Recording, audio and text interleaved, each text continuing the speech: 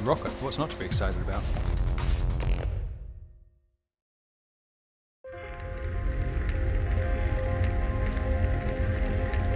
So with our partners Nammo, we're about to witness the test firing of their hybrid rocket motor in their test facility in Norway. For us at Bloodhound, it's immensely exciting because this is the motor that's going to take us to break the record, developed with ESA, the European Space Agency, a hybrid rocket motor that's going to power the future generation of spacecraft. And it's what's going to be powering the car from next year. So for us, it's a really important test.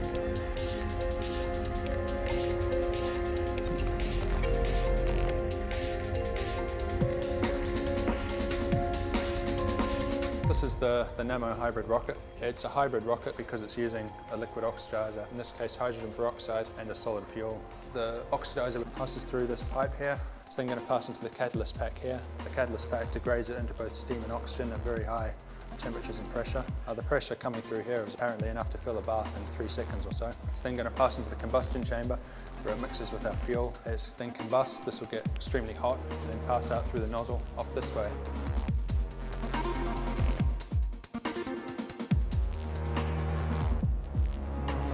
Hybrid rockets are relatively new technology compared to other types of rocketry and it's the safety element that really appeals to us. This is going to provide half of the thrust that leads us to a thousand miles an hour effectively so hit firing is a very big milestone for us.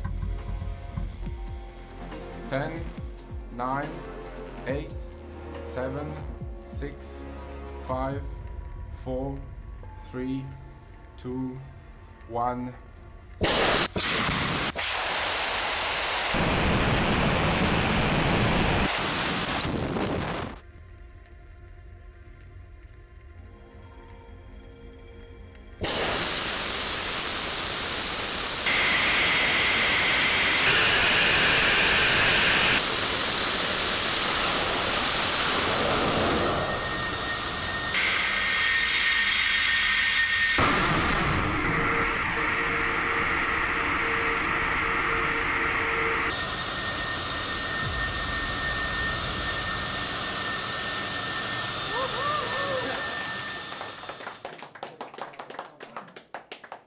That's perfect.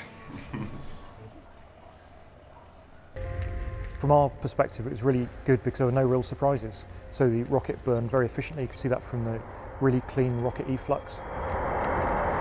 It's a huge step forward and massive confidence boost for us running in the car next year.